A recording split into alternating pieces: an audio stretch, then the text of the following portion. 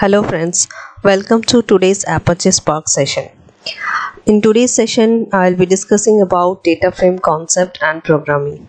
In my last session, I have discussed about RDD concept. So now let's discuss about what exactly data frame concept and what exactly it is. So basically what is data frame? It is distributed collection of data organized into named column. It is conceptually equivalent to a table in a relational database or a data frame in R or Python. It is a programming abstraction in Spark SQL module. We can build data frame from different data sources, for example, structured data file, tables in Hive, external database and existing RDDs. So why we have to think about data frame? Because we have some limitation in RDD. That's why uh, researchers have found out some new concept by which the data can feasibility uh, data feasibility of processing can be much more easier and can be much more faster way. So data frame is concept is not too much complex but the uses is very effective. That's why after RDD this data frame came into existence for processing the data so now we will be discussing why data frame. So when there is not much storage space in memory or disk so RDD do not function properly as they get exhausted. So that is one of the limitation in RDD that's why data frame make use of the input optimization engine. There are some optimization engines are there like catalyst optimizer to process the data efficiently we can use the same engine for all Python, Java, Scala and R data frames APIs. That is one of the first advantage in data frame uh, which removes all the limitation of RDD. Now Spark RDD do not have the concept of schema. It means the structure of database that defines this object. So that's why data frame provides a schematic view of the data and we can see the data in tabular format in data frame. That's why it is much more uh, feasible to visualize compared to RDD so RDDs store both structured and unstructured data together which is not very much efficient because we have to keep separately for structured and unstructured data. But in data frame the data has some meaning to it and when it is stored. It means that before storing the data into data frame it separates what is structured data and what is unstructured data so that the data efficiency becomes increased now in RDD the data is stored into memory whereas data frame store data off heap. It means outside the main Java heap space. But still inside RAM. So which in turn reduces the garbage collection overload. That's why data frame is faster. Because if you see in data frame it reduces the garbage collection. Because it, it is still inside RAM but it is outside the Java heap space so that's why uh, it uh, occupies less storage and the processing speed is much more higher now come to programming perspective on data frame how we can write data frame for that let me tell you uh, I have created one JSON file. If you see here, employee.json file is there. So let me see what exactly this JSON file consists. This is one of the file where uh, different uh, datas are there like uh, different people's names are there with age and id so this is the uh, easiest and simple uh, employee.json file where I have uh, given some data. So I'll be uh, working on some of the operation on that employee.json file. You can uh, just check it out how data frame works and how I'll be using coding in data frame. So let's get started. So I have opened already Scala. So in Scala what I will do? First I'll be creating one uh, SQL context how I can define it? Like spark SQL context equal to new org dot apache dot spark dot sql dot sql this is one of the syntax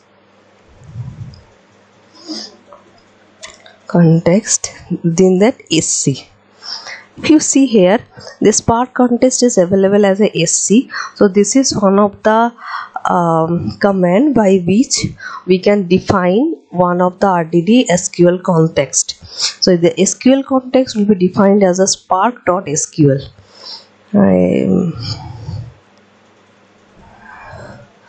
spark.sql and then I'll be working with SQL context in Pata. Okay, so now SQL context is created. Now I will be reading that employee.json file. So how I'll be reading that? That one you need to uh, check very carefully. Dfs equal to sql context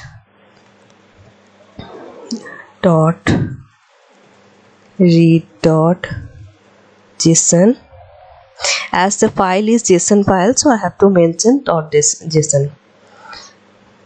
Employee dot json. Okay.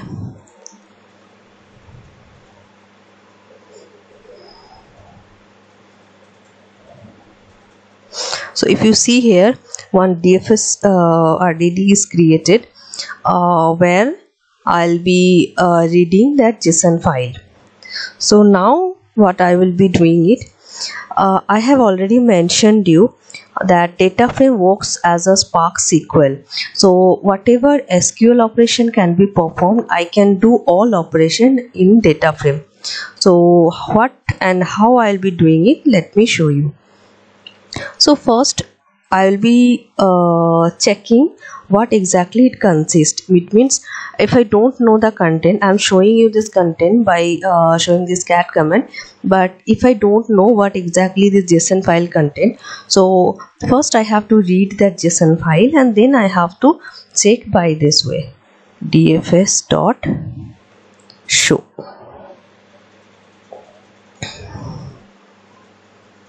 So if you see here I'm able to see uh, the data in output as a tabular format. It means uh, if you see in SQL format select star from uh, the table name uh, the format or the way you uh, see the data in same way we can able to see the data in data frame also. Similar way uh, another some examples I'm showing you. Uh, if you like to see the schema of this employee.json file so what you have to do dfs dot print schema. So there are three uh, columns are there age the string id string and name strings. So by using this dot print schema we can able to see uh, the schema definition of that data frame. Now uh, whatever operation we can perform in SQL we can perform all the operation in SQL here also.